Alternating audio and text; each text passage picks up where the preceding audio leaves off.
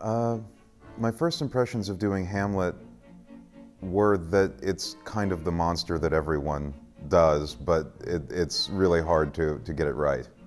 And what really surprised me about the rehearsal was that we were creating the whole world of the play in the rehearsal space together, uh, which is amazing, but I certainly didn't, I wasn't prepared for it. I've done some things that I've never done before, uh, like running at a wall full speed multiple times and hitting the wall to get into a scene. Um, no, but it's like one of those things where you don't want to say no, and you shouldn't. You should always try new things and really just explore and open yourself to it.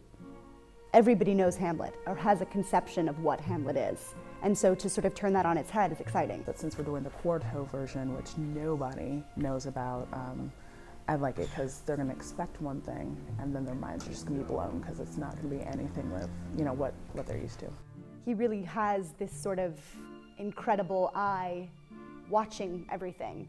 Um, so I was excited. I think it's nice to make Shakespeare accessible, and I think Stephen is a lot is about that, and that's I think that's really important.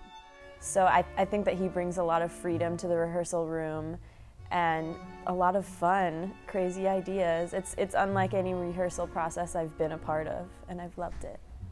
The incredible sense of play that Stephen has um, to just like come in, have fun with it, and just play, see what comes out, and you know, it's it's farther than I've ever um, or more than I've ever had with any other sort of director. You know, when he just turns on music is dancing around crazy or or whatnot. So it's it's kind of nice to be able to get back in touch with that childhood sort of self and, and see what, what comes out.